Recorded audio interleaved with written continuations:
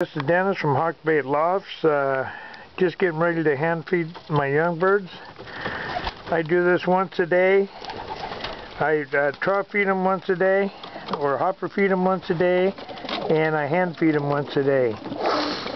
I give them all they want to eat, and it gets them uh, really tame. Plus they get used to you, you know, they, they learn to trust you. Come on, get off there, big guy. Come on, get off there. Okay, here we go.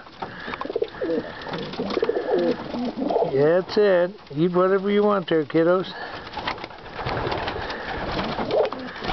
Some of them come right up to you and eat right away. Others are a little scared at first, then they'll come and eat, and then after a while they'll they'll all be eaten out of your hand.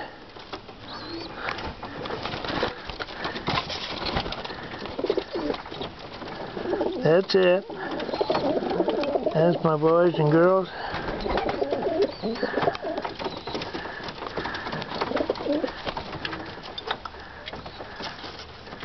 Who, who are you? how these guys do? They all get used to it though. And it's a really good way of uh, taming your young birds down. My young birds are fairly tame anyway, but this really helps. This is uh, Dennis from Hawkbait Lofts. Thanks for watching.